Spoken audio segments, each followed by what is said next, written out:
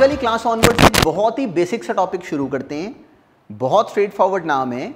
अभी हमें सुनते ही समझ में आ जाएगा और आज ही हमसे क्वेश्चन ईजिली अपने आप सॉल्व होने शुरू हो जाएँगे। बस ये बहुत ईजी से नाम को समझते हैं।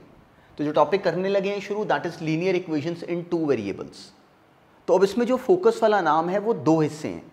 एक लीनियर इक्वेशंस और इन टू वेरिएबल्स तो अब लीनियर इक्वेशन नाम भी कभी हमने पहले करा हुआ है। वन वेरिएबल नाम भी हमने इससे रिलेटेड पहले करा हुआ है। तो सबसे पहले इस नाम को रिलेट करते हैं उस काम के साथ जो कि हम पहले से जानते हैं। तो बस अब इस पॉइंट को ऑब्ज़र्व करो। मान लो कभी कोई इंडिया और श्रीलंका के बीच में मैच हो रहा है और two Indian batsman together scored 176 runs दो इंडियन बैट्समैन ने मिलकर 176 रन्स अगर मान लो बनाए। तो हमें कहा गया कि express this information in the form of an equation हमें ये नहीं कहा गया कि इसको सॉल्व करो हमसे कहा गया कि बस इसको रिप्रेजेंट करो in the form of an equation तो हम क्या करें? बोले let the let the run scored by one batsman be x let the run scored by one batsman is equal to x by batsman one is equal to x पहले batsman का नाम हमने रख लिया वन और ऐसे ही let the run scored by batsman two जो batsman two हैं उनके थ्रू जो रन स्कोर्ड है, वो अगर मान लो वाई है। तो अब हमें इंफॉर्मेशन क्या गिवन है? हमें दिया हुआ है कि इन दोनों के रन्स का मिला के जो टोटल बना दैट इज़ 176 तो हम लोग अब कह सकते हैं कि x प्लस वाई बराबर है 176 के।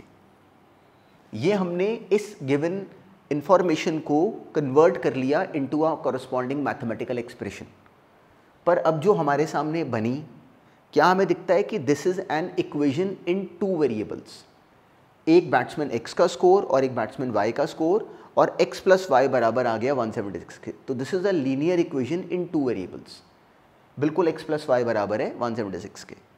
तो अब यहाँ पे इसका सोल्यूशन कैसे करेंगे? इसका आगे क्या करना है? वो सेपरेट टास्क वो बाद में देखेंगे।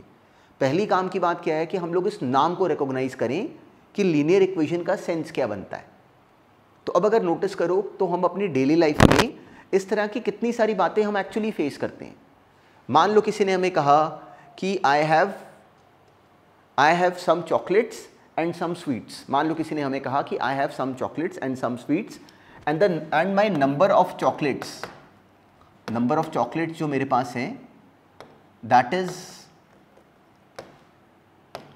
double the number of sweets मान लो किसी ने हमें ये कहा। तो हमें किसी ने अगर ये बात दे अगर कहा कि इसको कॉरस्पॉन्डिंग इसकी कॉरस्पॉन्डिंग मैथमेटिकल एक्सप्रेशन जनरेट करो। तो हम लोग बिल्कुल सेम तरीके से करते हैं। हम लोग कहते हैं let the number of chocolates be x मान लो हमने नंबर ऑफ़ चॉकलेट्स का नाम रख लिया कि वो एक्स है। और ऐसे let the number of sweets be y कोई कंफ्यूज हुए बिना। अब हमें क्या कहा गया है कि जो नंबर ऑफ़ चॉकलेट्स हैं, वो नंबर ऑफ़ स्वीट्स का डबल है। मतलब नंबर ऑफ़ चॉकलेट्स कितनी थी? एक्स और नंबर ऑफ़ स्वीट्स कितनी है? वाई तो उनका डबल क्या हो जाएगा? टू वाई तो एक्स बराबर है टू वाई के। अब x is equal to two y को हम ऐसे भी तो बोल सकते हैं कि simply x minus two y बराबर है ज़ीरो के। एक्स माइनस टू वाई बराबर है ज़ीरो के। तो अगर नोटिस करो तो जो पिछली हमने इक्वेशन जनरेट करी, ये वाली और जो हमने ये बनाई है, x minus two y to zero इन दोनों में अगर हम नोटिस करें तो अब की बार जो नंबर ऑफ़ अननोन्स हैं, जिनकी वैल्यू हमने निकालनी है, जो नंबर ऑफ़ वेरिएबल्स हैं, वो दो हो गए तो ये दोनों एक्चुअली रिप्रेजेंट कर रही हैं a linear equation in two variable इसका क्या करना है, वो बाद में देखेंगे। पहली काम की बात क्या है कि हम इसको पहचान जाएँ। तो अगर हम एक पैटर्न बनाएँ तो linear equation in two variables हमेशा एक तरह के फॉर्मेट के होते हैं। और वो सिंपल फॉर्मेट है, वो जो हमने ये बनाया और ये बनाया, इनको माइंड में रखो और बस अब ये फॉर्मेट नोटिस करो। बस अब ये पॉइंट ऑब्ज़र्व करना।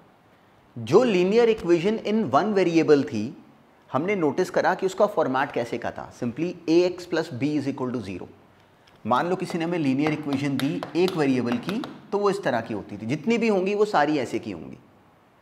बिल्कुल सिमिलरली जो हमने अभी दो इक्वेशंस पहले बनाई चाहे वो x plus y is to one seventy six हो या x is equal to two y हो, उन दोनों में अगर नोटिस करो तो उनका जो फॉर्मेट था, वो एग्जैक्टली exactly ऐसे का था।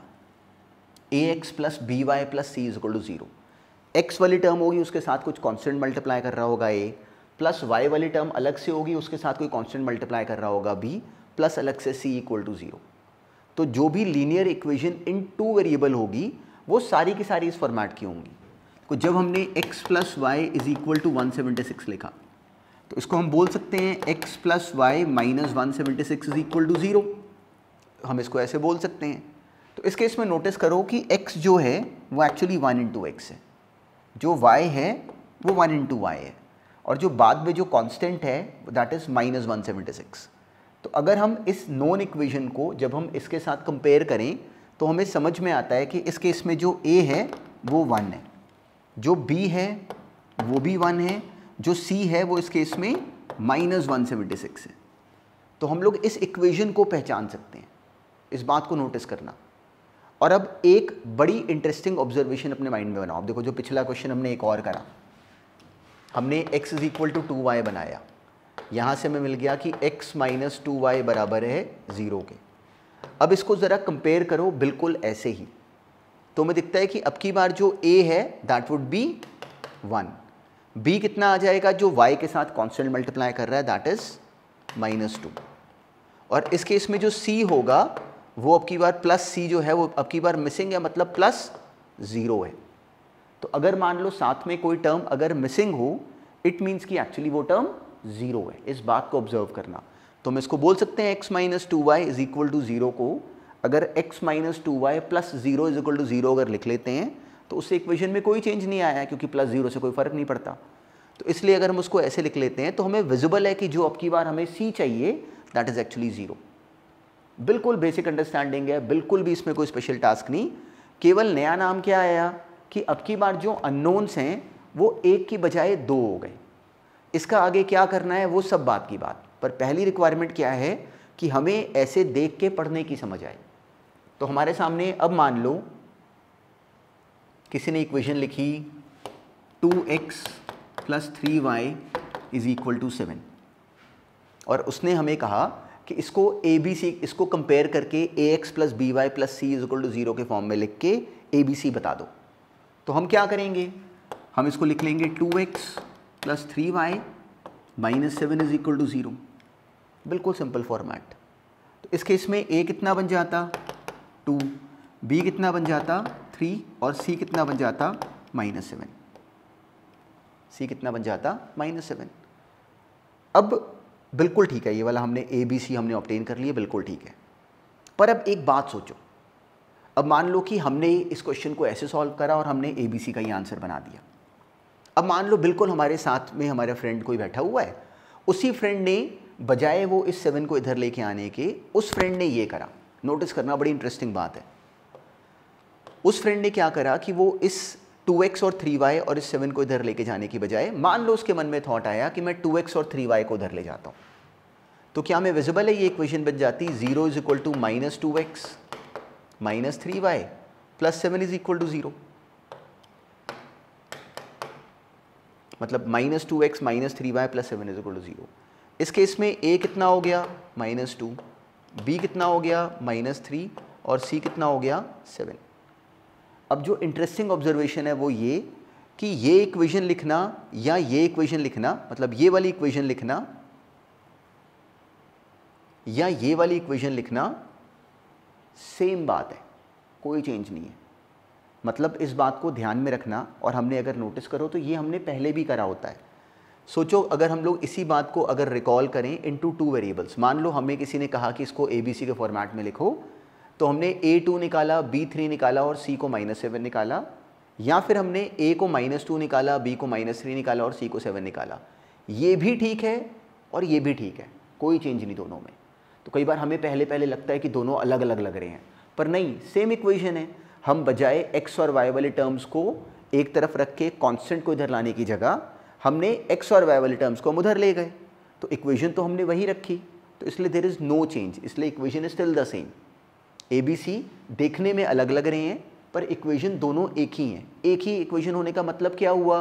कि एक्स और वाई का जो फाइनल आंसर आएगा, वो या यहाँ से निकालो, या यहाँ से निकालो आंसर सेम आएगा। अगर रिकॉल करो, हमने कभी क्वेश्चन इस तरह के करे होते हैं। मान लो कोई हमें दे दे सिंपल अगर हम लोग देखें तो x is equal to three लिखाओ। तो इसका आंसर कितना है? इज़ इक्वल टू थ्री मान लो कि अगर मैं इसको x minus three equal to zero लिख लूँ तो भी ठीक है। या इसी को अगर मैं लिख लूँ, इस x को उधर लेके जाके minus x plus three equal to zero तो यहाँ से x निकालो, या फिर यहाँ से x निकालो। क्या हमें समझ में आता है कि x तो सेम ही आएगा थ्री तो एग्जैक्टली exactly वही काम यहाँ पे हुआ। तो इस बात को भी नोटिस हमेशा अपने माइंड में रखना कि if this in this equation there is a possibility कि जो हमारे आंसर में जो टर्म्स आई ए बी और सी की और जो मेरे फ्रेंड की आई, वो दोनों डिफरेंट लग सकती हैं, पर इक्वेशन सेम है। तो इंपॉर्टेंट अंडरस्टैंडिंग इज़ दिस कि बस हमारी ए बी सी की रिकॉग्निशन बन जाए। अब इस सिंपल सी बात पे जो क्वेश्चन डील करोगे, वो एग्जैक्टली exactly इसी बात के ऊपर बेस्ड हैं। वो हमसे बहुत ईजिली सॉल्व होंगे। तो चलो, ये पहला क्वेश्चन भी अपने आप ही कंप्लीट करो। थ्री वाई माइनस फोर बना इक्वल टू ज़ीरो तो अब इक्वल टू ज़ीरो इधर था, हमने उसको इस तरफ़ लिख लिया, एक ही बात है। क्योंकि जब कोई एक्सप्रेशन